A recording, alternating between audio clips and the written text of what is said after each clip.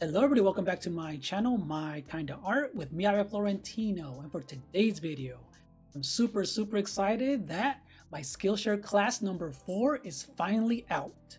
I just uploaded this new course and it's featuring how to digitally paint Frida Kahlo or any type of portrait in color. And if you haven't already checked out my previous courses, they've all been in a realistic style, drawing with pencils, and my Skillshare class number 3 was drawing Frida Kahlo using pencils, and it's going to build off of that course. So now I'm combining both traditional and digital together, and that is what this course is all about. So I'm going to leave you guys with this introduction to my Skillshare course, and don't forget to check out my other ones because I do have a link in the comment section down below or a one month free trial of Skillshare. So go ahead and check that out. And if you like what you see, hit that like button, ring the bell, leave a comment, and see you guys next time. Bye bye.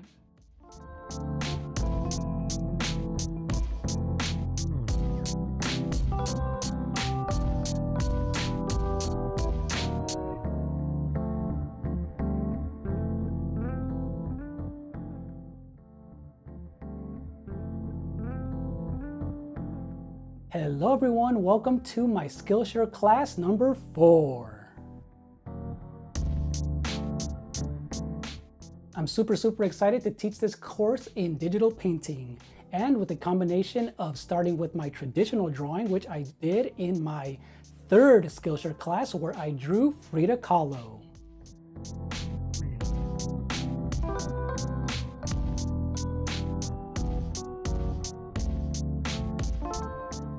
I drew Frida Kahlo in a front-facing view using pencils, and I did it in a realistic way. And now that course is going to lead into my brand new one where we're going to do some digital painting using Procreate. And all you're going to need is your iPad and your Apple Pencil. We only need few materials to get things started. So before we get started, my name is Ivan Florentino Ramirez. I graduated from California State University Fullerton, and I have experience in acrylic painting, oil painting, digital art, portrait drawing, and watercolor painting as well. However, with my courses, I love injecting fandom, meaning we're going to learn through the world of pop culture. And with this class, we're going to be coloring Frida Kahlo, the iconic Mexican painter.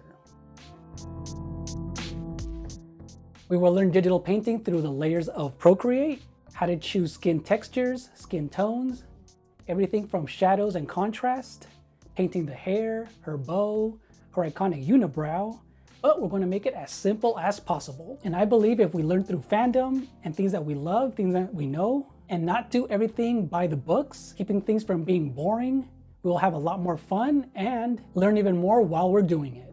So get that iPad ready, your Apple Pencil, your reference photo, and let's get into some digital painting.